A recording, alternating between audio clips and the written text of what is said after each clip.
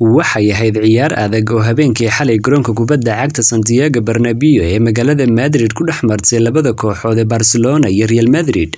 Barcelona oo marti ku ahayd garoonka ayaa wacdara soo bandhigtay iyadoo real madrid oo garoonkeeda ku martigelisay ay huwisay guuldarro baahsan waxaanay kaga badaysay afar gool iyo eber. Laba gool waxa u dhaliyay obamyang halka labadii goola kalena ay dhaliyeen veren torres iyo aruqo obamyang waxay u ahayd ciyaartiisii koowaad ee el clasico. Real madrid ayaa weli labiyo toban dhibcood ka sarraysa barcelona. Hase yeeshee barcelona ayaa hadda soo yadhaysay dhibcahay ka dambisay real madrid oo hore uu ahaa shan iyo toban. Waxaanay ka dhigtay labiyo toban iyadoo weliba haysatay ciyaar baaqiya. Waxay ku soo dhowaatay ishvila oo kaalinta labaad ku jirta oo ay hadda saddex dhibcood oo keliya ka dambeeyaan iyagoo weliba haysta ciyaar baaqi oo ay booska kagala wareegi karaan. Taageerayaasha real madrid ayaa habeenkii xalay si weyn uga walaacsanaa guuldarrada soo wajahday kooxdooda.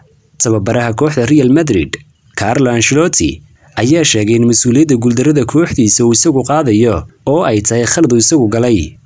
Real madrid ayaa sanadihii ugu dambeeyey ahayd kooxda ku gacan sarraysa kulamada el clasico iyadoo badaysay dhammaan shantii ciyaarood ee ugu dambeeyey laakiin waxay u ahayd habeen uga duwan habeenadii hore ee kulamada el clasico